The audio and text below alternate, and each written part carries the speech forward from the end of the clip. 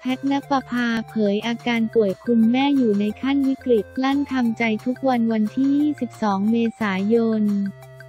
ที่ Eve and Boy The Underground ชั้น LG สยามสแควร์วันดาราสาวและพิธีกรชื่อดังแพทณปภาตันตระกูลให้สัมภาษณ์ในงาน Eve and Boy Base S E L L I N G Award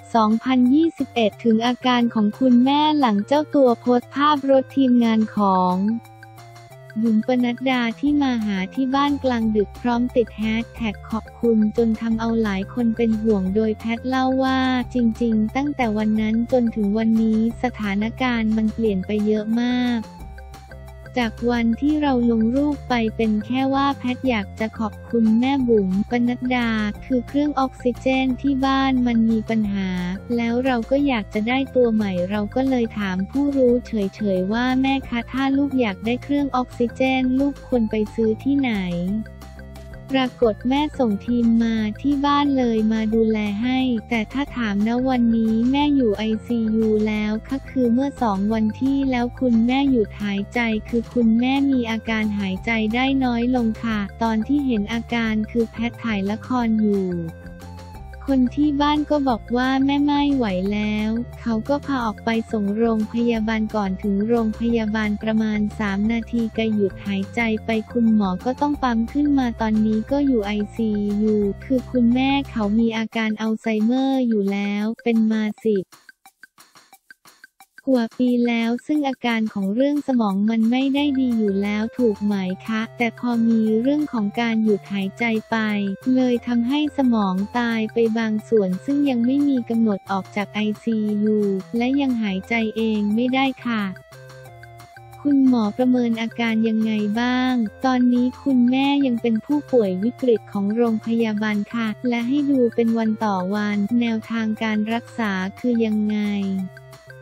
ณตอนนี้พอเข้าโรงพยาบาลไปแล้ว คุณหมอก็เริ่มมีการตรวจพบว่ามีการติดเชื้อในกระแสเลือด แต่เชื้อยังเพาะไม่ได้เนื่องจากความดันหลาย ๆ อย่างยังไม่เข้าที่คุณหมอก็ให้ยาฆ่าเชื้อแบบโดยรวมไปก่อนค่ะ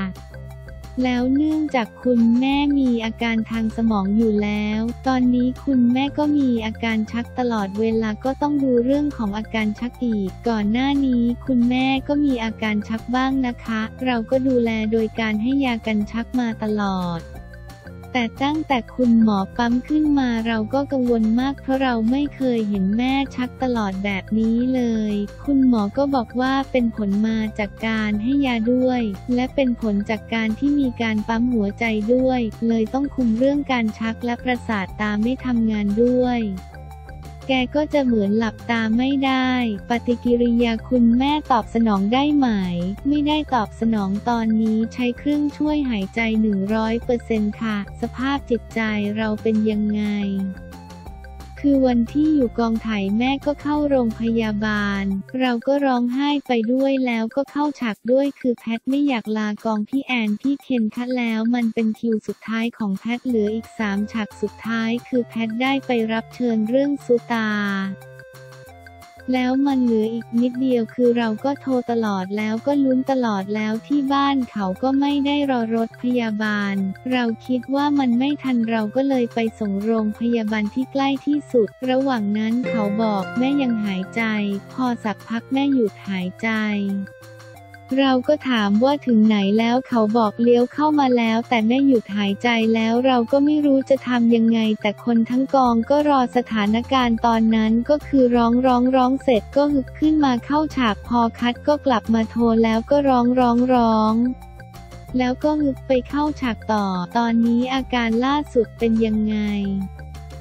ก็ยังต้องใช้เครื่องช่วยหายใจ 100%ความดันโอเคที่พจรโอเค คุณหมอก็จะค่อยๆ ลดจาก 100%เป็น 80%เป็น 70%เป็น 50%ขึ้นอยู่กับว่าผู้ป่วยสามารถหายใจเองได้มากน้อยแค่ไหนคุณหมอบอกมีความหวังยังไงบ้างที่คุณแม่จะออกจากโรงพยาบาลได้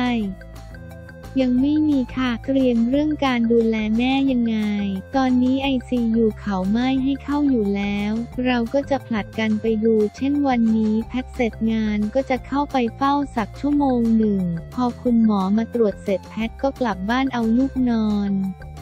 คือ ICU ผู้ป่วยวิกฤตเขาจะมีพยาบาลดูแล 24 ชั่วโมง อยู่แล้วและไม่ให้คนเฝ้าแต่ให้คน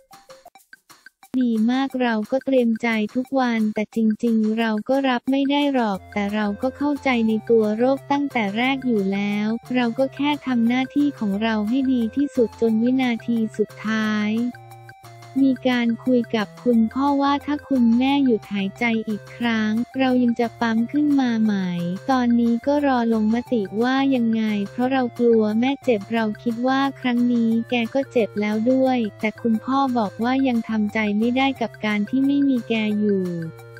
ต่อให้อยู่ด้วยการใช้เครื่องช่วยหายใจก็ยังอยากให้อยู่ก่อน ในครอบครัวให้กำลังใจกันยังไง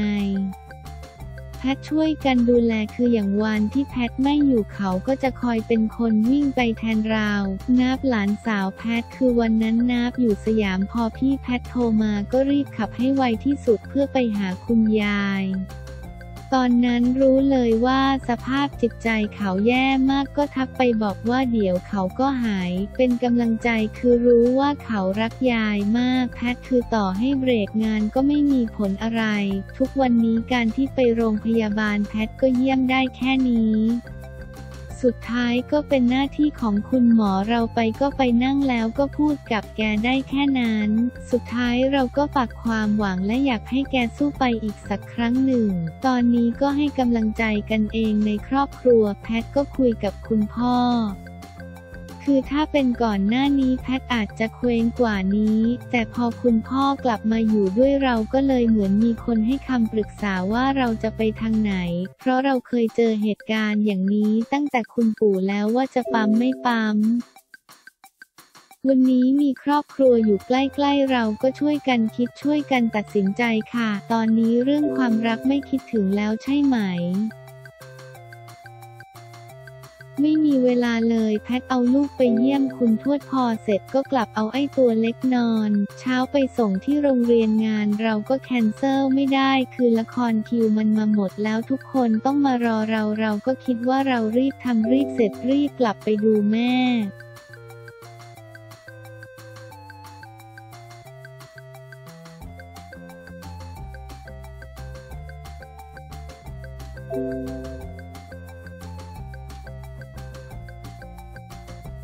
ชาวเน็ตถูกใจครูสาวจัดให้ใส่ชุดเที่ยวทะเลหลังถกสนานครูไม่เหมาะโพสภาพชุดว่ายน้ำ ชาวเน็ตถูกใจครูสาวจัดให้ใส่ชุดเที่ยวทะเลหลังถกสนานครูไม่เหมาะโพสภาพชุดว่ายน้ำ ถามคมความดีศรัทธา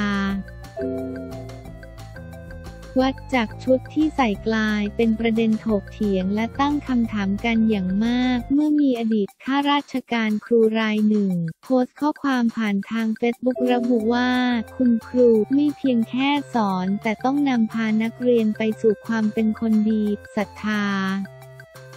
จากนักเรียนจึงสำคัญยิ่งหากใส่ชุดว่ายน้ำบิกินี่ถ่ายภาพเผยแพร่นักเรียนจะยังศรัทธาหรือไม่ขณะเดียวกันผู้ใช้เฟซบุ๊กคุณติด้ามันทริกอีโอ ครูภาษาอังกฤษจึงโพสต์ภาพขณะแต่งชุดเรียบร้อยไปเที่ยวทะเล ซึ่งเป็นที่ถูกอกถูกใจผู้คนในสังคมออนไลน์เป็นอย่างมาก โดยครูกุลธิดาเขียนข้อความระบุในโพสต์ว่าพอจะเป็นผู้นำทางจิตวิญญาณได้ไหมคะท่าน ชุดปกติขาวนะอ่าวมายาชุดไทยหวานหวานที่ซิมิลันสวยๆชุดลูกเสือ ล่องปิเลตลากูในเมื่อ ความดี วัดจากชุดที่ใส่ศรัทธาตีค่าจากการเผยแพร่ภาพไม่ได้ประชดเนาแค่อยากให้เห็นภาพชัดขึ้น